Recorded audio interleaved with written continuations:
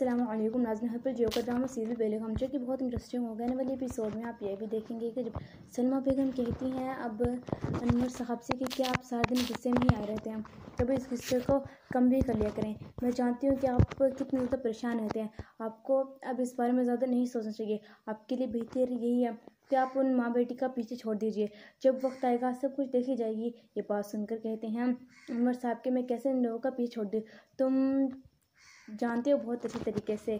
मैं उन लोगों का पीछे नहीं छोड़ सकता, जब तक मुझे लोग सब कुछ देख नहीं देते और मैं नहीं चाहता कि ये सब कुछ मेरे हाथ से जाए। बड़ी मुश्किलों से मैंने इन इन सब चीज़ों को पाया है। तो कहती हैं, अब उनकी बीवी की क्या वाकई यही चाहते थे शुरू से कि ये सब कुछ आपको हो जाए, अगर आप इतनी मेहनत, अपनी चीज़ें कमाने के लिए लगाते तो फिर आज ये सब कुछ आपका भी होता और आपका आपको किसी की ज़रूरत ना पड़ती कि आप ऐसे किसी और के नाजायज़ माल पर कब्जा जमाए। तो कहते हैं, अब अनवर साहब की क्या मतलब तुम्हारी बात का?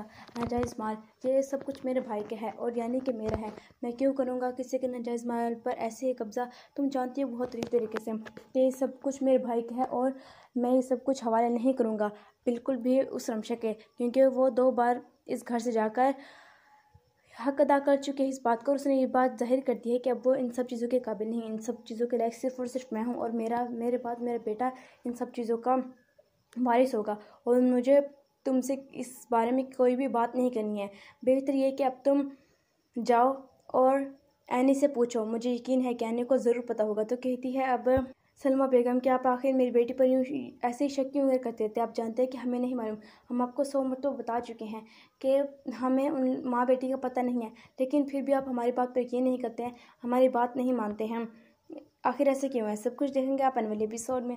वीडियो शेयर को तो लाइक करना, चैनल को सब्सक्राइब करें